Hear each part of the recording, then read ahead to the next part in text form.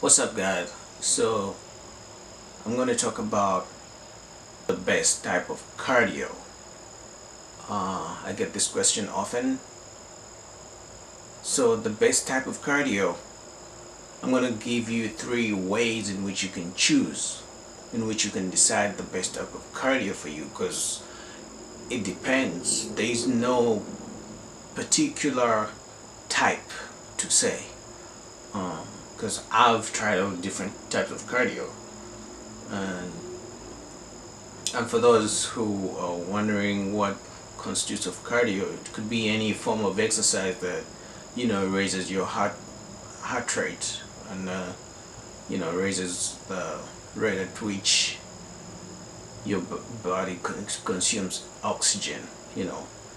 And uh, in turn it can help you increase metabolism, can help you keep in a caloric deficit and can help you in your fat loss journey.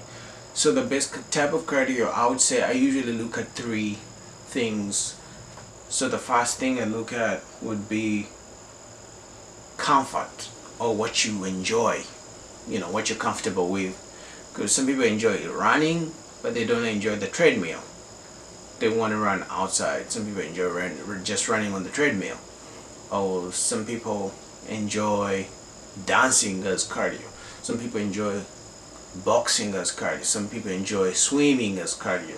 Some people enjoy aerobics in the gym as cardio. Some people enjoy walking. Some people enjoy the stairmaster. So it depends what you're comfortable with. And so the first thing you should do is to choose what you think you're comfortable with you know and then you can use that to the best of your ability to to reap the benefits of cardio. And then number two would be what's available to you. Some people don't have access to the gym, you know, but you can still do cardio. You can go out to run, you can go out to walk, you can go to the field and do different, you know, exercises, circuit exercises for high intensity uh, interval training some people only have access to the gym. There's still things you can do. Some people only have access to dance studios. Some people you know it depends what's available to you. So that would be the second way to choose best cardio for you. What could be what's what's the uh, what's available to you that you can use to your advantage? And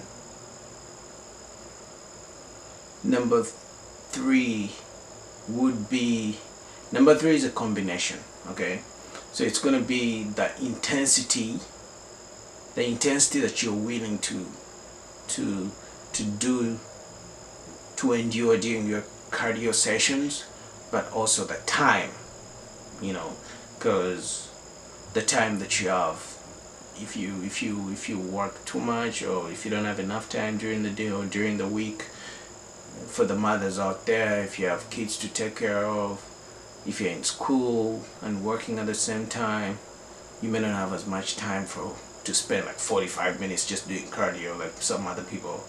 So it depends on how much time you have and then how much intensity. Some people don't like to run. That could be like high intensity for them. So they would rather do that the stairmaster. And then some people like the intensity.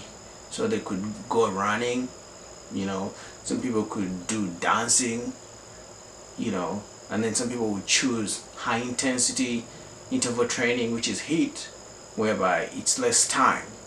You could do the same work somebody does in 45 minutes on it on a stairmaster in 25 minutes just doing a couple exercises exercises uh, combos like one after another rest time period in 25 minutes you'll be done with your cardio session so again it depends on your time and your and the type of intensity you know but obviously intensity comes with time because uh, I do all kinds of cardio but if I haven't done cardio for two weeks I'm not just gonna go out there and run for half an hour. Like I know it's not gonna be possible because I haven't been training for it. I'm my I'm not used to it. I need time to build you know to build my my my intensity levels and to build my endurance.